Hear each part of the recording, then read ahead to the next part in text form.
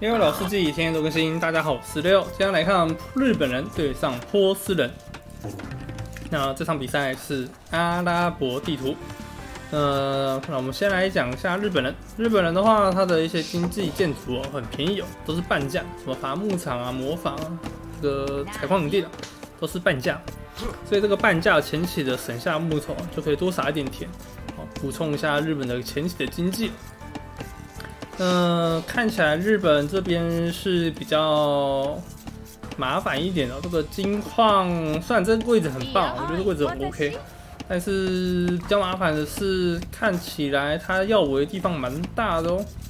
它如果要围大的话，就是要这样子围，这样子围，这样子围，这样子围啊。前期的这个围架的负担会比较大一点。那如果要小围的话，好，比较简单啊。小围就是这边稍微围一下，啊，这边围起来。啊这里围起来，然后这里用 TC 联防，哎，这样子围的话是最简单的。呃，比较尴尬的是，如果这样子围，然后不出兵的话，那这边就要插个箭塔去防这个金矿，就 OK 了。好，那再继续讲日本的一个能力啊。日本人的话，他是步兵为主的一个文明。到封建时代的时候，步兵有三十三的攻速加成。就这个骑兵啊，跟这个剑勇，还有他的日本武士，攻击速度是全有系面步兵速度最快的一个文明，所以千万不要跟日本人打步兵哦，你觉得会被打到头破血流。呃，最好是哦出这个工兵哦去打他。那波斯呢，刚好有这个波斯工兵的科技哦，银冠点完之后，波斯的工兵是不需要消耗黄金的，只需要消耗这个木头。那只要消耗木头的话，那波斯的。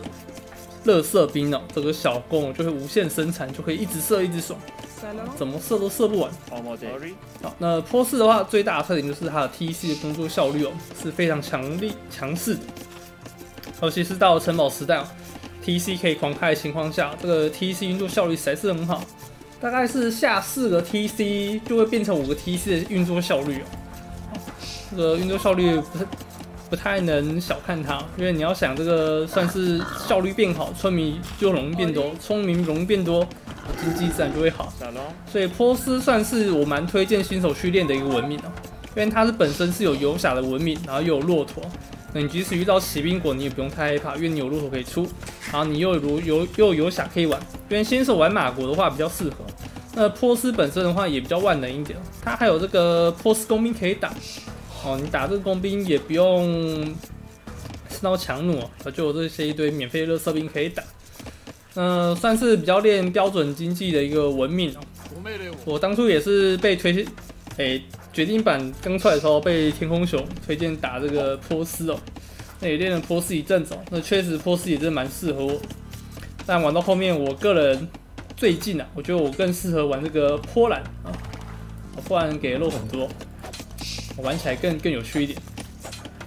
好，那这边日本这边直接打棒棒，但是这边棒棒还没有升到装甲，而且只出两只。那通常出两只装甲情况，而不是装甲棒棒的情况，我就不会去点装甲，通常是会出到三只才去点装甲，这个投资报酬率才比较正比一点。但日本的话情况可能就不同，如果他后期没有打日本武士，还是有可能去升这个装甲，可以先行投资的概念，有可能会打这个剑勇之类的。那日本的攻速加成是这个封建时代开始才有的，所以这个黑暗时代的棒棒攻速是没有比较比较快的，就是一般速度而已。哎，但是波斯这边也是打棒棒哦，两边都是打棒棒的情况下，看起来。波斯可能会有点烦哦，会有点烦尴尬，因为波斯如果棒棒互打，封建时代可能会打不赢。但是棒棒哎，日本出到第三只，好，看起来日本这边还是要升装甲哦，升到三只棒棒，我四只，四只棒棒，然后升装甲，哇，他是想用刀砍死人啊，打最凶那种。好，但是波斯也是选择打这个装甲步兵啊，两边都是要升装甲的 tempo。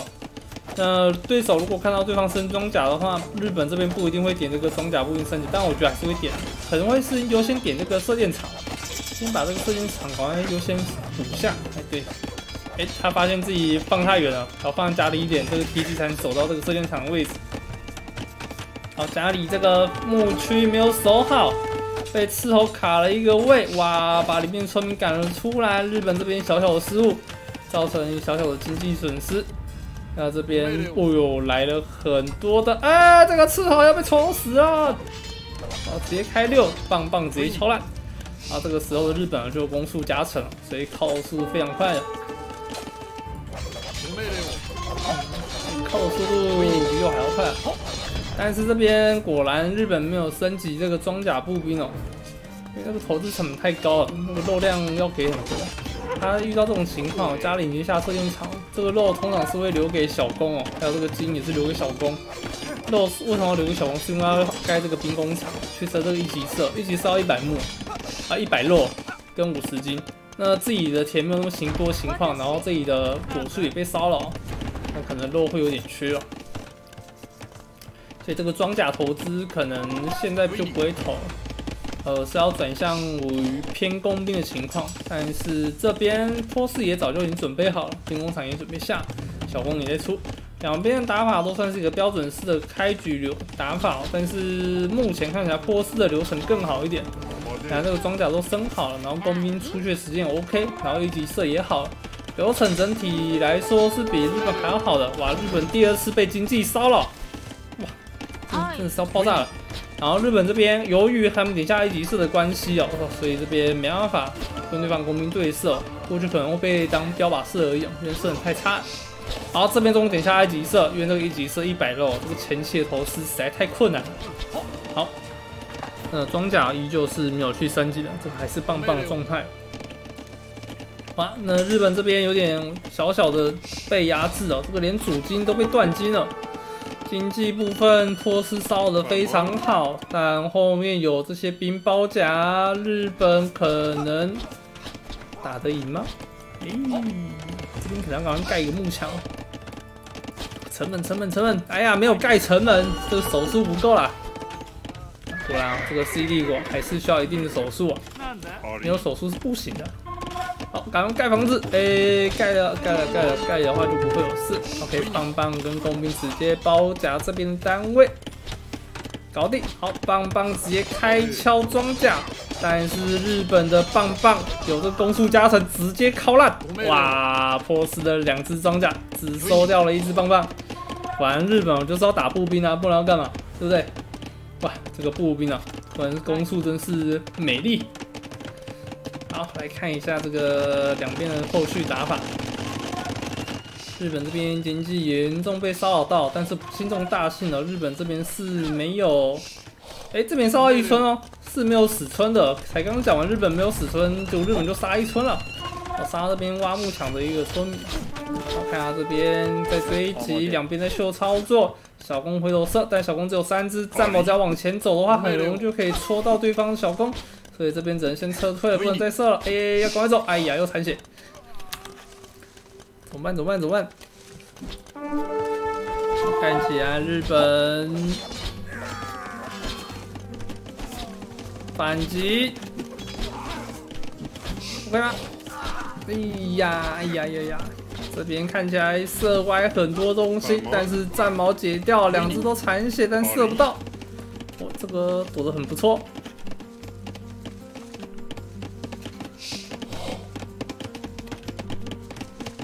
好，小光直接走过来。啊，全旗开扁，残血的工兵不足为惧，嘿，直接扁光。好，看起来日本这边。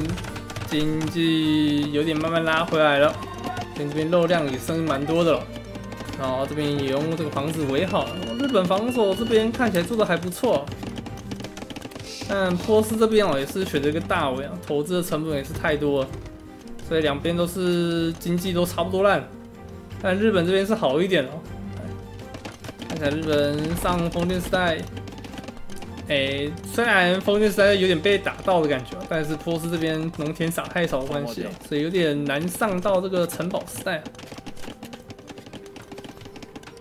好，这边波斯工兵再来过一个骚扰，我们杀到一村呢，很困难。日本这边一级掘金也要好了，哎，这边工兵数量有点多，十只，十只小工的话，打木场速度蛮快的哦。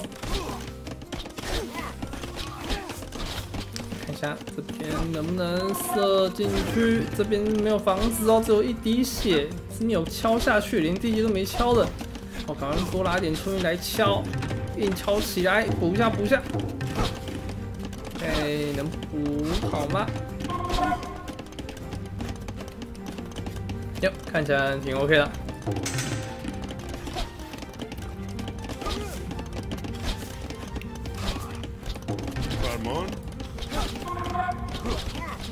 好，工兵直接原地倒地。日本看起来，待会上城堡时代是要打这个弩兵了，因为连这个一级工兵护甲都点下。凡是波斯这边，我觉得他的想法还没有想好的感觉哦，因为这边他哦上城堡时代应该是要打这个骑士才对的，但是这边还没点下这个一级马凯哦。那马就里面补，反正双四练场。那如果是波斯要打弓兵情况下，我觉得没有特别优，真 真的没有特别优。因因为他这个时间点哦，已经时代输人家了。日本这边早就已经上城堡了，然后这个奴兵的升级啊，跟二骑士都要顶下。你这时候再走进来，就有点在找死，你知道吗？啊，完了，要变身了啊，变身了，直接上去开点。射程优势有了，兵种优势有哦，往前点，还没开始秀操作。好，日本这边想要再继续往前，他觉得这口弓标送掉，虽然还是想要升这个弩兵升级，但是工兵越来越多，可能要对射，就算就是像日本对射也没问题，往前 A 也 OK 的。好，直接往前 A 射掉一只，再射掉一只，OK，散一下兵。B 字阵型走开，再说再躲箭矢，哎，但是波斯这边也上到了弩兵了，啊，弩兵上来之后，两边开始对射，两边都想要极限错操作，但是操作看起来波斯这边要倒光了，好，直接上去往前贴光，OK，没问题，日本这边操作秀的还不错，有做到该做的事情，那日本这边选择是先下 TC，而不是先下大雪。因为通常打工兵开局的玩家们，有人会先选择先下这个大雪，但我觉得这标准还是要先下个 TC 哦，再下这个大雪比较好。虽然这个弹道血时间会再更拖得更晚一点，但至少自己经济不会太崩塌，所以这个日本觉得这个选择还算不错的。这个 TC 加下去之后，这个主金跟木头都能守住，这也相当相当好的一个抉择。好，但是日本没有出这个骑兵，波斯也没有。其实这种情况是需要出骑兵来做点事情，但两边都没有。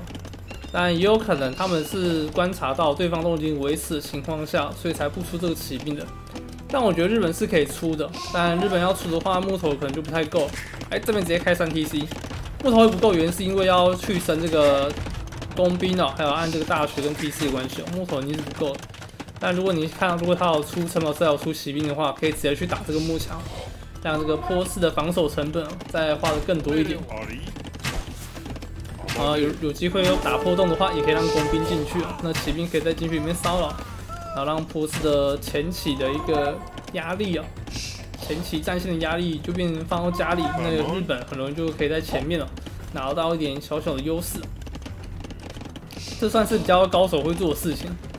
那我像我啊，我我也本身不太会去做这种。分退的动作，因为我觉得这个手速成本有点高，而且有时候自己在打的时候有点会有点怎么说呢，就是有点有点盲点在。因为你我们在看别人打的时候都知道，都很知道现在这个情况要干嘛，就是旁观者清吗？嗯，旁观者清应该是这样讲。所以就是你你看别人玩的时候都知道干嘛，但是自己在打的时候，你会在想哦，想升升弩兵，然后升这个二级射，哦，升二级防，然后弹道血，啊，就不会去想要去升这个骑士哦，去弄对面，啊，也不会去想要该求到月去捡遗迹我。说看我现在家里被封锁了，点在我家旁，在在我家外面搂搂手，他妈没有机会去点点这个遗迹啊，对不对？就会这样想，啊，自己在玩的时候就很容易这样子。所以这个啊，我就是多看比赛的好处，是会了解到高手们之间的对决，会他们在自己自己在玩的时候遇到什么问题，呃，在自己玩的时候也可以去反思哦。哦，好，对，高手都会遇到这样的事情，那自己要更小心一点，不要也遇到这些小缺点跟问题。开始啦！游戏开始啦！呃，波斯这边还是没有补下这个马厩，两边都是打一个纯工兵。但是我觉得打纯工兵的话，波斯终究是比不过日本的，除非波斯赶快去点下这个波斯工兵的科技哦，再继续打工兵的话，我觉得可能会比较好一点。因为他现在出工兵还是需要黄金的，因为没有盖城堡的话，还是要去挖黄金去跟对方换的。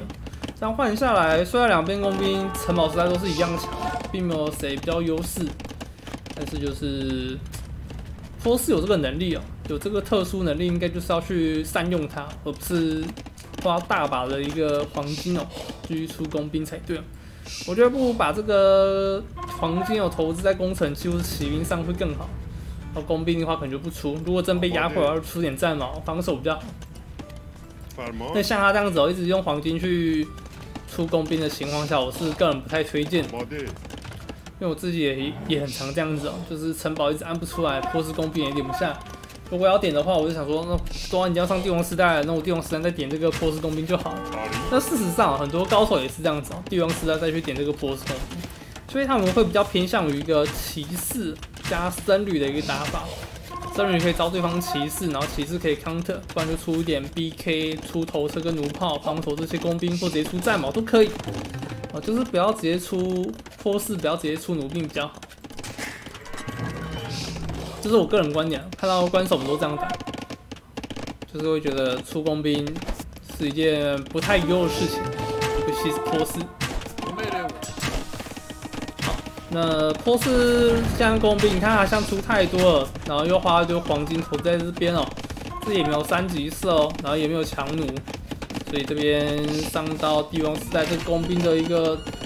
效果很难变成主力哦，那你势必还是要出一些头车，哎呦，差点投到，或是弩炮或战矛去解决对方的工兵，哎又，差一点，直接硬点，哎呀，砸到一半，还是这个头车应该还是可以再砸一发，哎呀，日本这边能换掉台头车吗？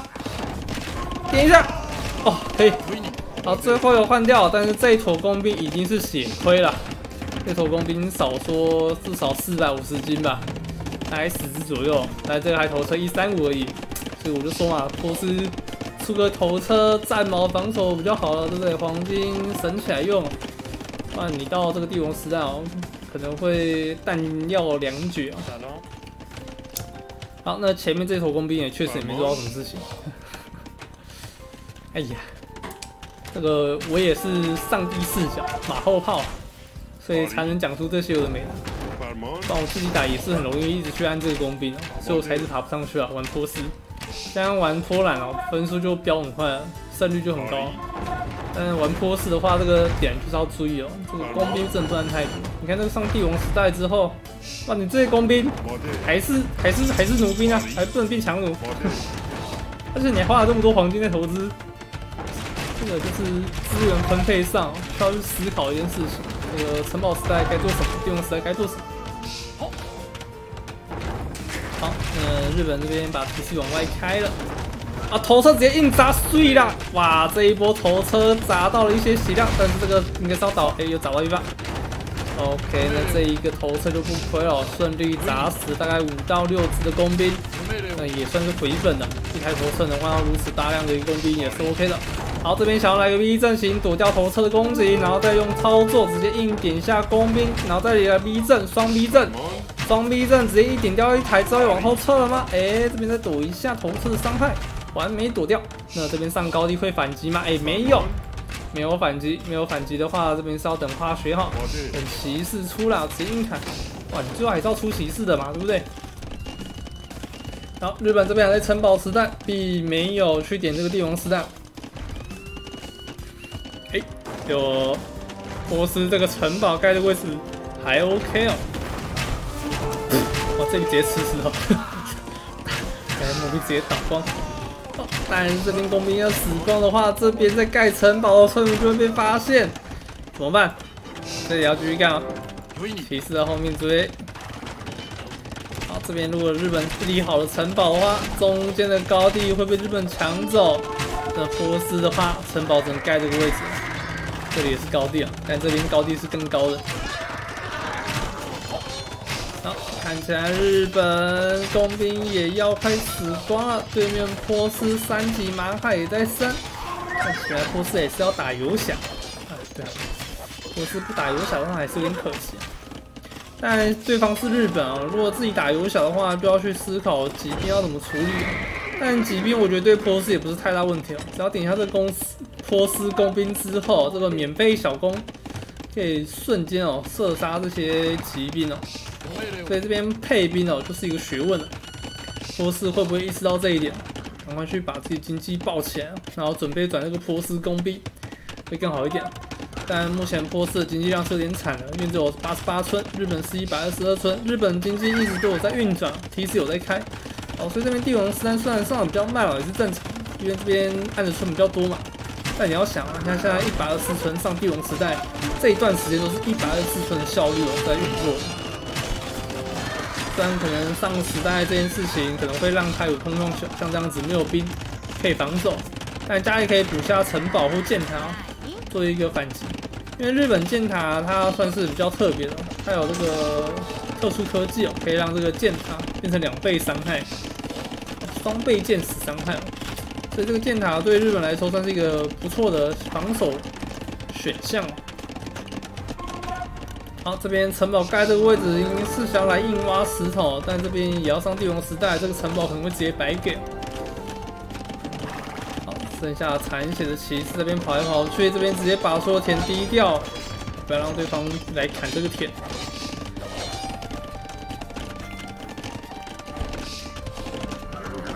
好，看骑士慢慢走过来，但是家里都是村民，没有任何的单位可以反击骑士，怎么办？骑兵还没有好，好，两只骑兵走了过来。有骑兵的话，就还有机会可以守住里面家里的经济。好，波斯慢慢的把这个骑兵哦，哦，知道这里有个漏洞，赶快把骑兵派过来。巨头也准备好了，巨头哦，高地哦，高地巨头投这个 TC。哎，但是这边城门盖得好，把大量骑士堵在门外，把这个缝隙全部堵死。边有个漏洞，哇，没有补好，骑兵直接走进来。但是家里已经有大量长兵在防守了，这边骑兵也在守，哎，直接被拦截戳死。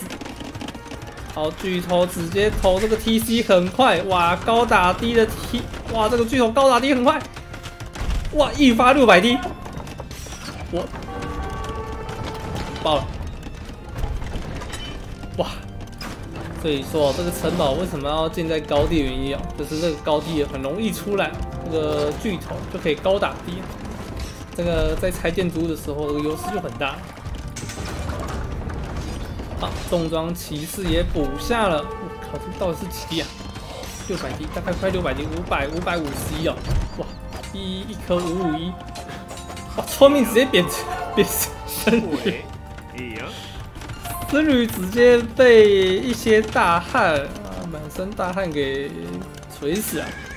好，那这边波斯点下了这个重装骑士升级，但是攻击力还没有升完啊。但重装骑士防御率已经也有了，品种也有了，血量一百四滴，还不错。那这边波斯可以考虑哦，再把这个经济存起来，去点这个游侠。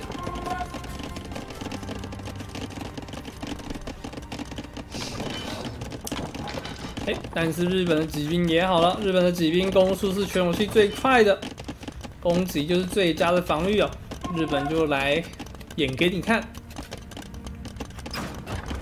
开始进攻城堡，但是对方城堡巨头也架好要来反击，巨头哦有点危险，然后这个赶快拉村民来修，不然可能被砸光了，完蛋！哇，果然一台爆了，第二台直接架滴滴。好，直接上去戳巨头，但对方骑士也过来拆巨头，两边都在想要解决巨头，巨头要解决很麻烦。但这边日本只用大量骑兵上前开戳，直接戳烂。这边稍微来个回马枪，回去拆巨头应该是能拆得掉，两只重装应该没问题，但是要被村民修回了。哎呀，没有解掉。最后这边日本拿到了一点点的优势哦。那连把这边的村民也全部解决掉，巨头也在出，把日本这边黄金哦只花在巨头上，正面单位只用骑兵就能搞定了。好，那这边波斯开点工兵了，看起来是有点这个波斯工兵。有波斯工兵之后，这个波斯工兵就可以解决这些疾病了。就是我们刚刚中间讲的，哦，日本出疾病的话，波斯势必是要出这个波斯工兵来反击的。那日本遇到对方出工兵情况，也可以考虑出一个战。嗯，日本的工兵基本上是全满的，工兵护甲也是。所以不管怎么打，日本对上波斯这个局面啊，日本我觉得是稍微有点优势。以打正面来说啊。所以波斯可能要利用游侠机动性哦去做骚扰进攻比较好，而不是跟对方打一个正面。打正面的话，用这个大量的免费的波斯工兵去守就好。呃，其他方面哦，其中用游侠直接去用村民，用这个游侠去砍村民会更实际一点。好，骑士果然还是要来骚扰。好，波斯工兵直接上高地想来硬点巨头，但是又有这个骑兵数量有点多。好，下面这边四只骑士直接砍村民，村民四处逃散。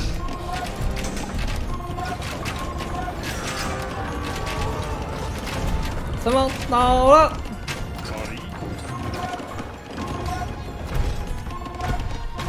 我靠！结果马波斯，你给我再出马弓！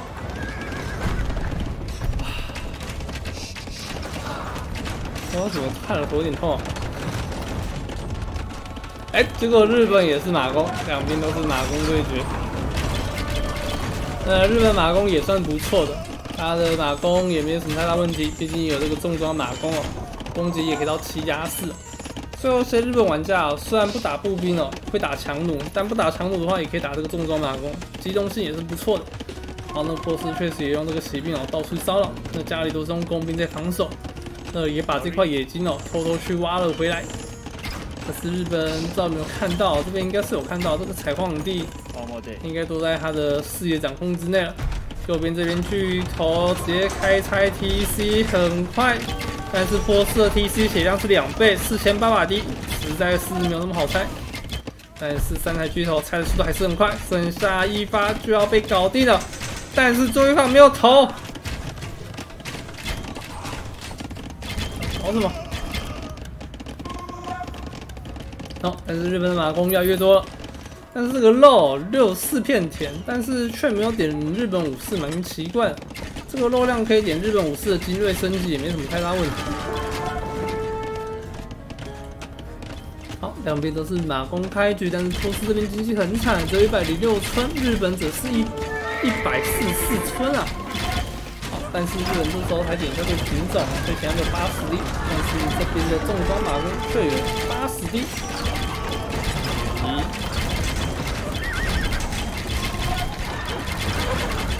那这边马弓对射的话，波斯会很劣势啊，因为波斯地没有三级射，所以射程会输日本这边一点，攻击力也是输一点。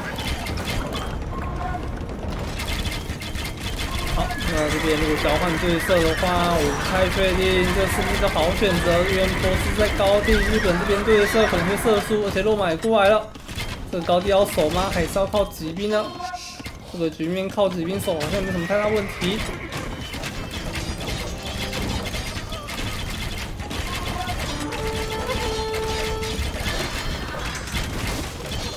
肉马直接去拆巨头，巨头拆光。马弓在后面继续输出，然后利用这个肉马去吸引箭矢。结果这一波看起来波斯有点败退的感觉哦，因为他经济有点跟不上他的马弓生产速度了，马弓的量很少哦。啊日本这边有没有继续补下大量的马弓哦？是补下大量的骑兵，那也是好选择，可以省下些黄金。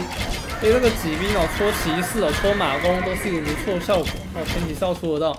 但是只要一戳到，这边托斯的正面部队哦，基本上挡住了。呃，但是马弓打这个骑兵哦，就有这个额外伤害，这个安息人战术，步兵伤害蛮高的。好，前面落马躲动，然后躲一点箭矢。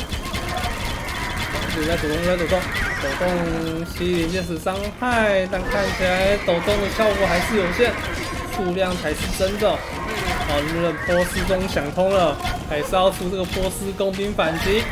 但波斯工兵要来打的话，可能很难打，因为波斯的工兵，哎，不要说波斯工兵哦，一般的工兵的血量只有三十五滴血，但是日本哦，这马弓有八十滴血，整整是弓箭两倍血量，所以这边那看起来难打。哎，波斯这边打出了继续，哎呀，知道自己分数输太多，输了三千多嘞。好看一下经济方面，经济哇，日本这边肉跟黄金，诶，黄金没有赢，但是木头有赢，基本的两种资源哦，都算是赢得蛮多的。黄金跟石头都是小输哦。呃，波斯这边是不是没有点那个二级伐木啊？看一下，看，原来你真的什么都没点啊！我就想奇怪，你怎么这么穷？哇，二级伐木、二级农田都没有点啊，难怪我想说为什么这个经济量有点差啊。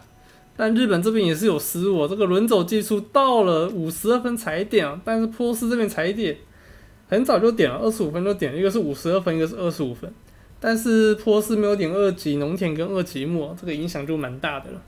而且这边波斯虽然减到四个遗迹，但是却没办法扛下正常的经济值哦。